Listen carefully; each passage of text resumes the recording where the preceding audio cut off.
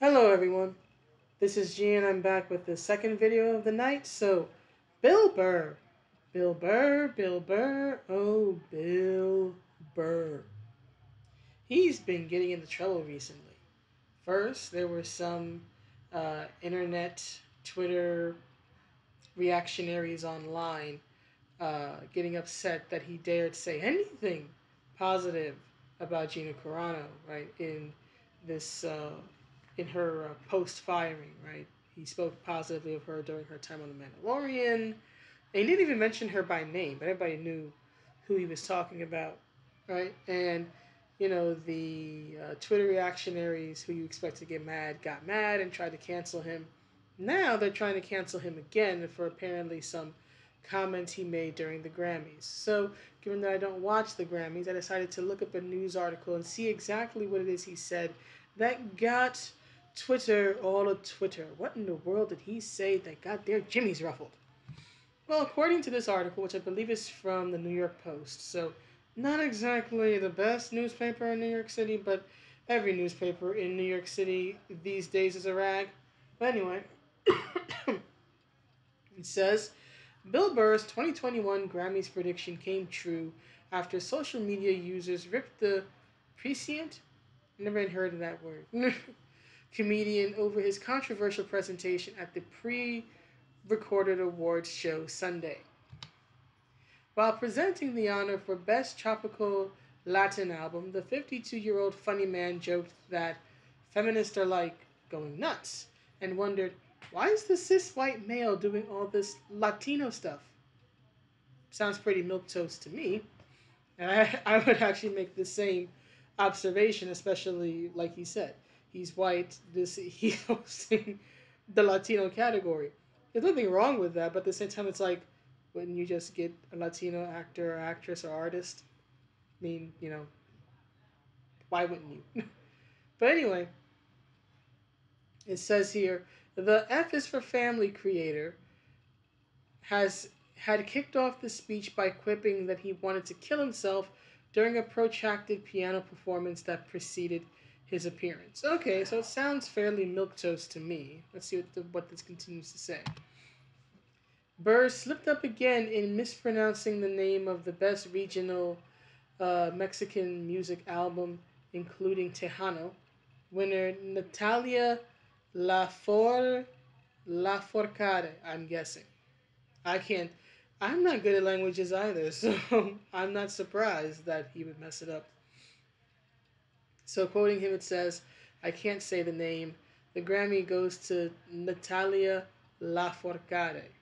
Or he might have said La, Lafourcade. I have no idea what he said.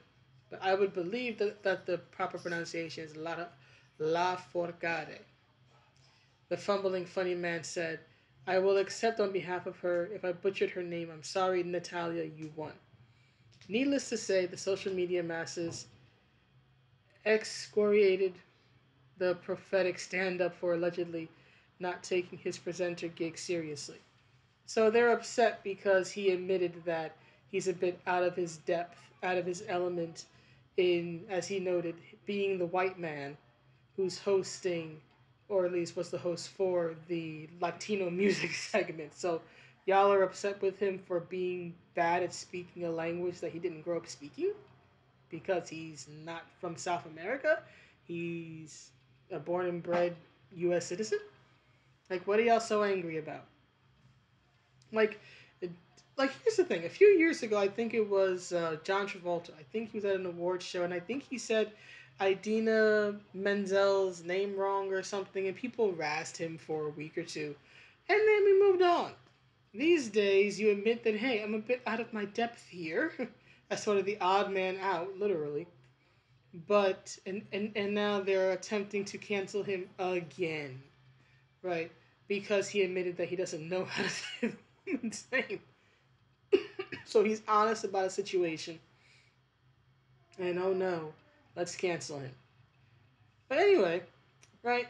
So there have been people online ever since this happened saying that oh he's a sexist he's a racist he's homophobic he's xenophobic he's a this he's a that. Well here's what's happened right? Uh, I almost- forgot about this image. I forgot what's what's what's in in my own video, right? As you can see here, right, the Latin rock or alternative album, you have Ora by Bajo Fondo, Monstro by Cami, or Cami, Cami, Cami, Cami.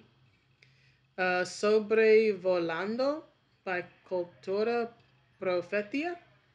La Conquista de Espacio, Espacio. Fito Paez, Miss Colombia, Lido Pimenta.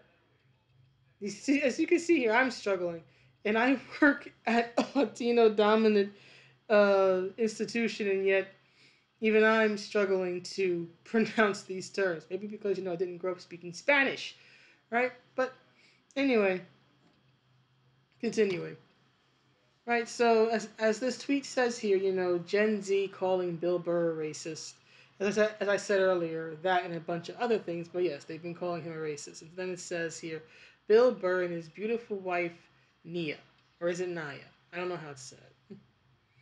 Right, I've heard it both ways. But anyway, as we can see here, a beautiful, lovely couple. So here's what's been happening. Right? You get this tweet from Clayburn Griffin. I don't know who the hell he is. I don't much care. Right? But it says here, while I'm not suggesting Bill Burr is a racist, which means right here, the rest of the tweet is going, it's going to be about suggesting Bill Burr is a racist. A white man having a non white wife can sometimes be a sign of racism. So you're immediately calling him a racist because he married outside of his race. So you shouldn't assume someone isn't racist just because they own a minority sex servant. And now you are demeaning her to the role of sex servant. So let's see here. You're quite literally demeaning both of them down to master and slave and I don't mean in the handcuffs, handcuffs and leather sense. You're literally demeaning them both to master and slave. You're claiming that she's his property, and you're reducing her and her role in their relationship as the wife down to her being simply a sex object. So not only are you, Clayburn Griffin, being a out and out, blatant, raging racist. You are also being a raging sexist and misogynist by demeaning his wife in such a fashion. You're demeaning her on the basis of her race, and you're demeaning her on the basis of her gender, referring to her as a sex servant. Right? Referring to their relationship that you know nothing about.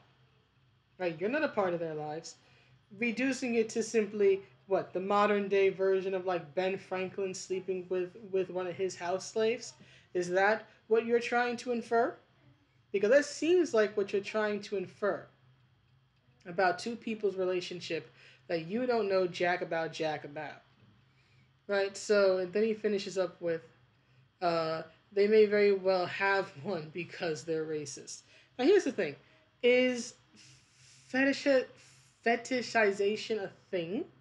Yes, that does exist. Sometimes people do marry outside of their race or they marry a certain person because uh, the person looks exotic or whatever. But there's no indication that the relationship between Bill Burr and his wife Nia is anything like that.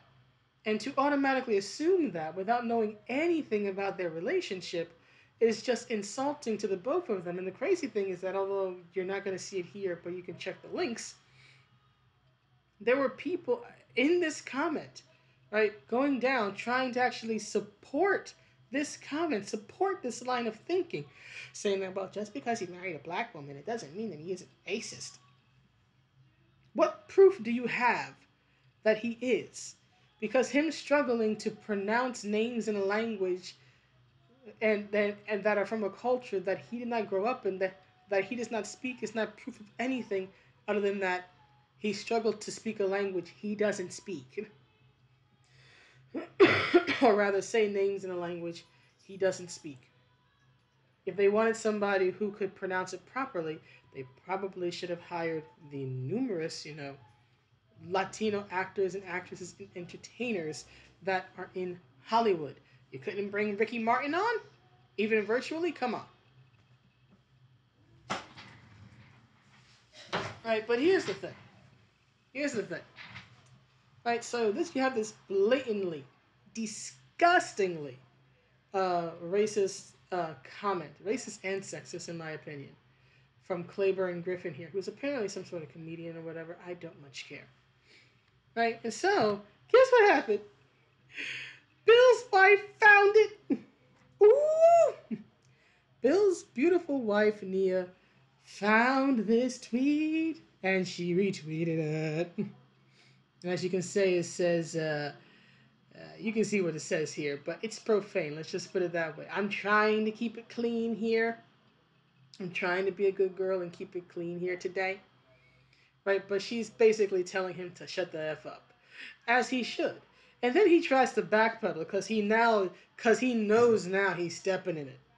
Right? He knows now he has stepped in it royally. right?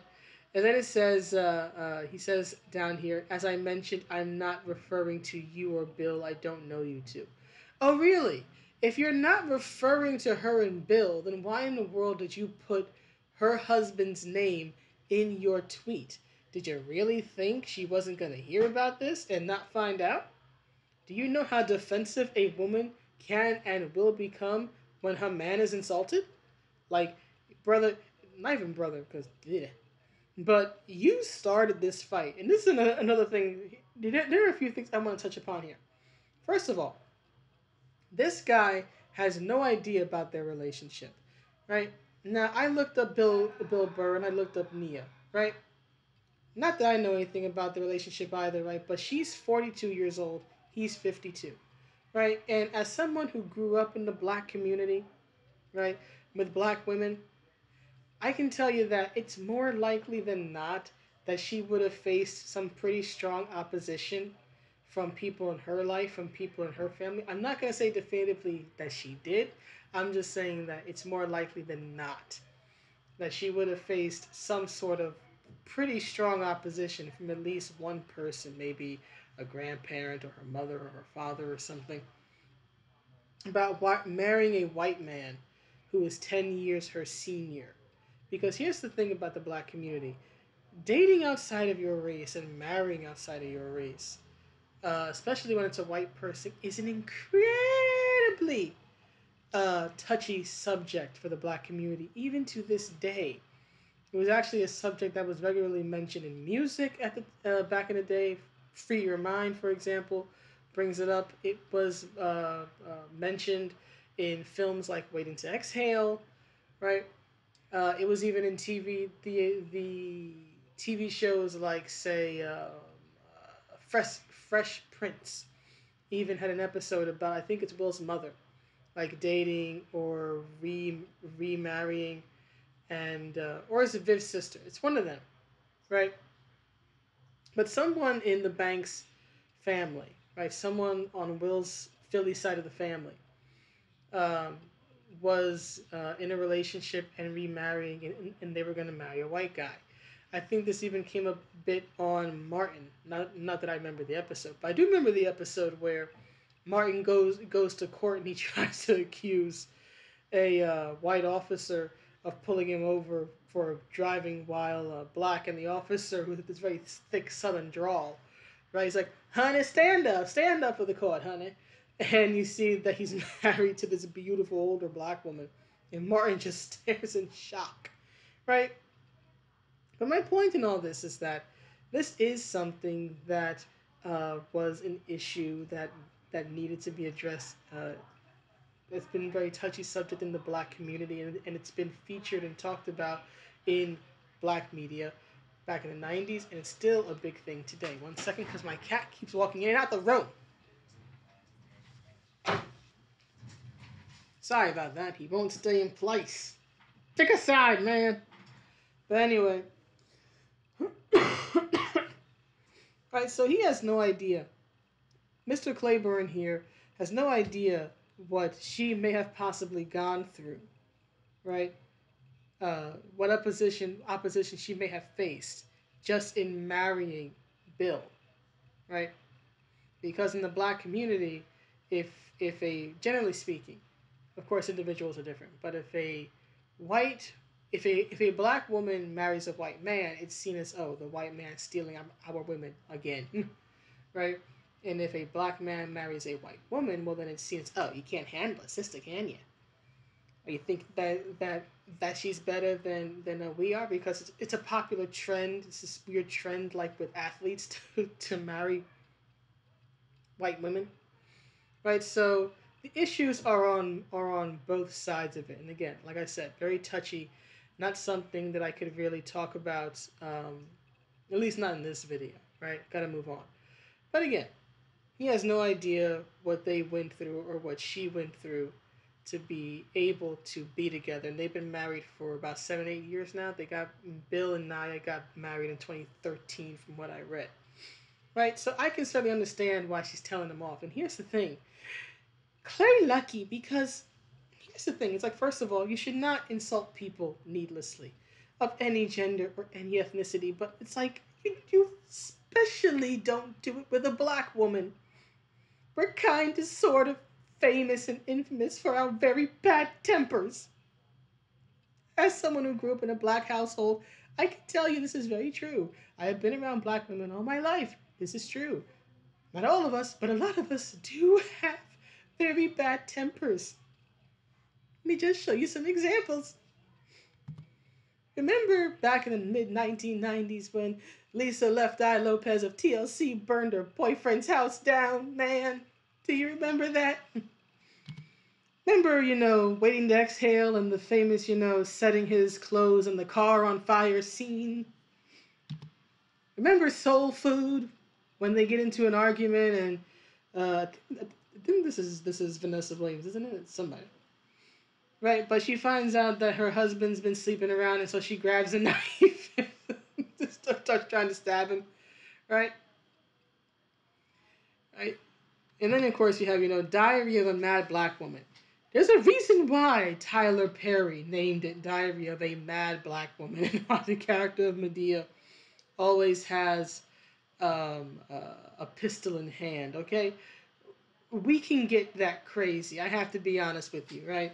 We don't do the whole thing like, you know, Carrie Underwood talking about, you know, I took a Louisville slugger to the car. Like, no, no, no, no. We don't do that. we destroy the car. We make sure you can never get it fixed.